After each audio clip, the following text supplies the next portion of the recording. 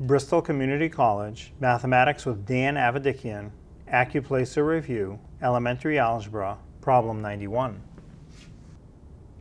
This is the Elementary Algebra Accuplacer Review, Problem 91. It says, if 5 times 3 minus x equals 12, then x equals what?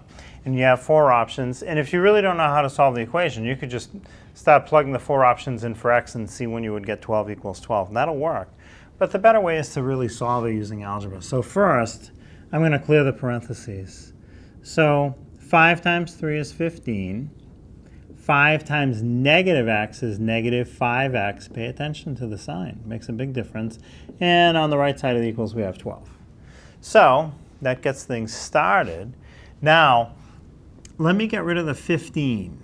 So on the left side of my equation, I'm going to do minus 15, which means on the right side of the equation, I also have to do minus 15. Whatever I do on one side, I have to do exactly the same on the other.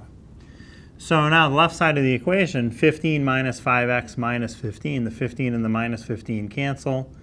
Still have the minus 5x. Pay attention to the sign. It's not 5x, it's minus 5x. That'll make a big difference. And on the right side, again, pay attention to the sign, positive 12, negative 15. When I put those together, that's minus 3, right? 12 minus 15 is negative 3. Now, I'm a little closer, but I, don't I want to know what x is, not what minus 5x is. I want to get rid of the minus 5. So again, what I'm going to do is divide both sides by minus 5. Not just 5, but minus 5. I have to take care of the minus also.